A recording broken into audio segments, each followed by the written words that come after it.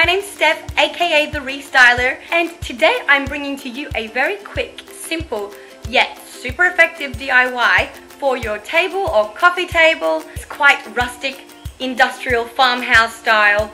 As you can tell, I'm just holding the camera with my hand. I'm not even tripoding it today. This video is much more casual than my other DIYs. I just wanted to push this video out really quick for you guys so I can hopefully inspire you guys and maybe you can make one yourself if you like the idea and you need one or want one in your home.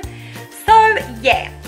Okay, I'm sitting on my couch now so it's a little bit more comfortable. I think I will definitely stick with the tripod for most of my other DIYs because my arm is hurting. Oh, this is like my exercise for the week. So in this video, I'm going to be showing you how to make an industrial farmhouse style coffee table caddy. Also, I will not be only showing you how I make it, but I'll also be showing you how I style it. As you can probably see and notice my arm has like gotten lower and lower and lower throughout the video because it is getting so sore. Oh my gosh, this shows you how unfit I am. Why can't DIYs make you fit? Oh, also, if you like this video, then please don't forget to give it a big thumbs up down below.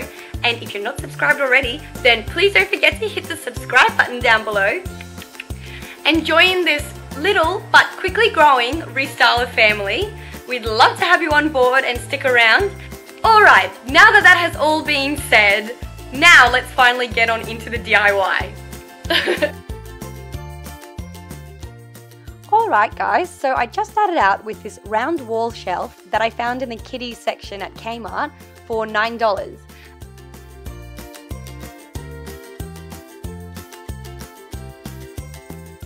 Some matte flat black spray paint from Rust-Oleum. Some thick twisted jute rope. A trusty hot glue gun and some glue sticks.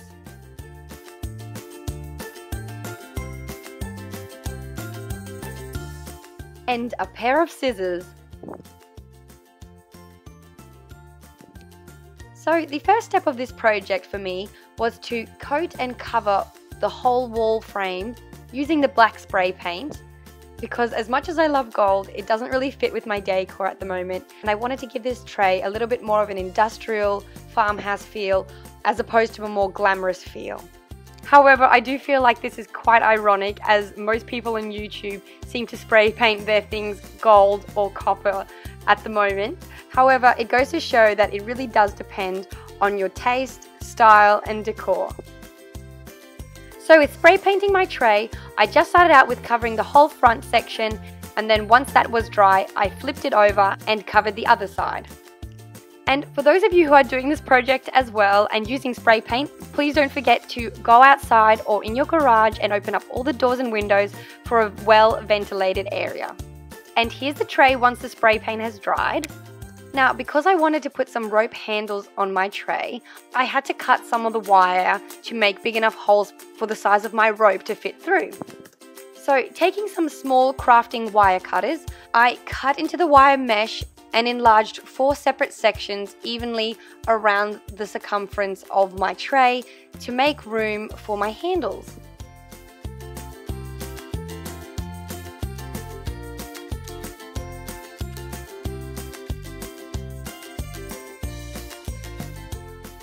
So as you can probably see, to make these four holes in the mesh larger, I just clipped a little T out of each one and that left me with a bigger hole.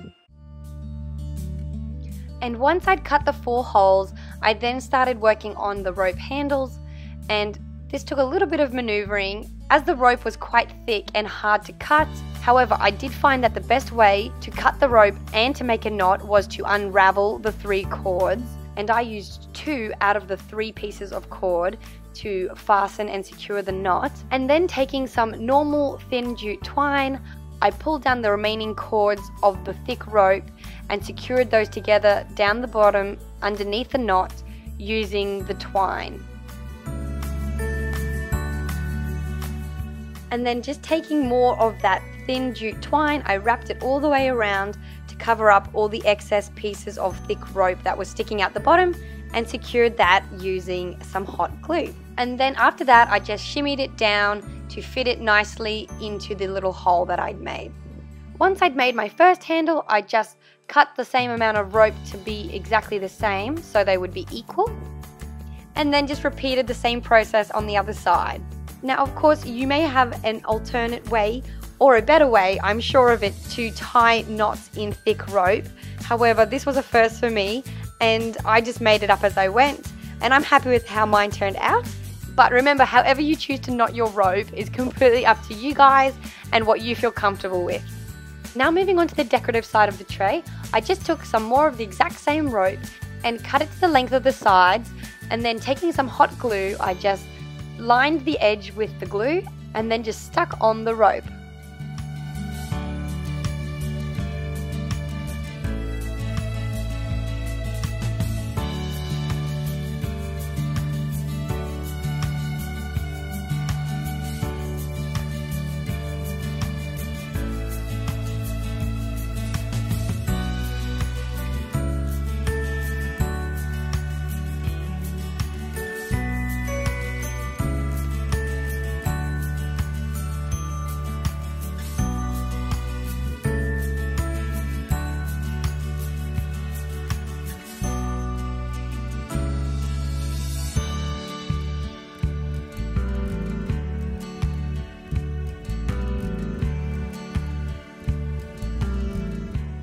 I chose to put rope on both the top and bottom rims of my tray, but again, of course, this step is completely optional and you could put more rope or less rope or some wooden beads or even some burlap perhaps. I guess that's the great thing about doing DIYs is that it's completely and totally personable every single time and you can really go to town with however you want and choose it to look.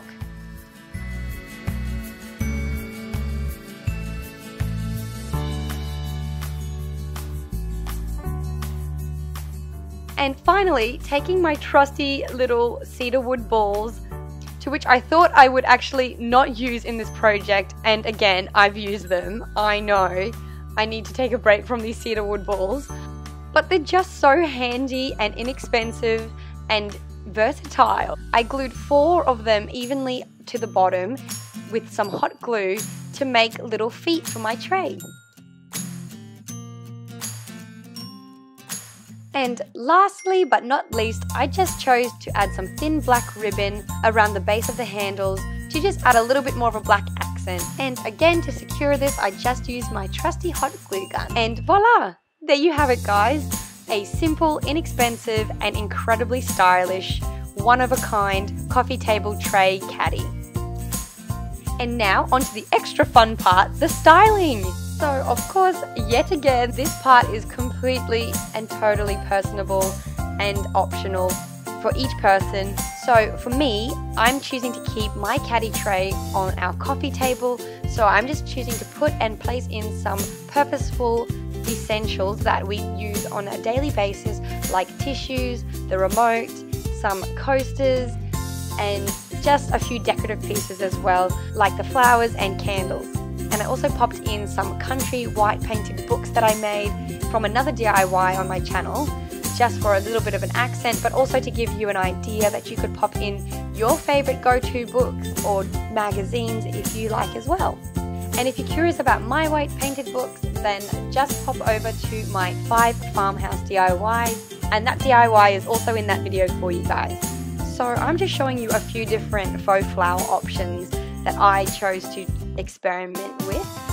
However, obviously the rest stayed the same. And one of the main things that I love about this DIY caddy tray is that it has its own little compartments already, which I find makes styling even easier as it's really just fill in the gaps with essentials and then just add some more personal items that you love.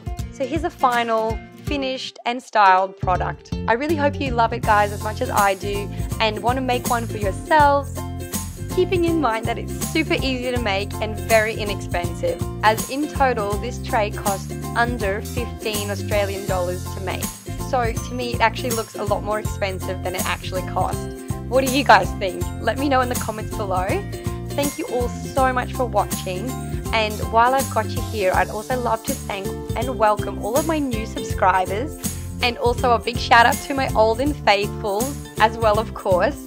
Thank you all so much for your support, kind words, and encouragement, and for joining this small but quickly growing Restyler family. It's so great to have you all on board and I love you all so much. Don't forget to like, share and subscribe and I'll see you all next time. Thanks so much for watching guys. Bye!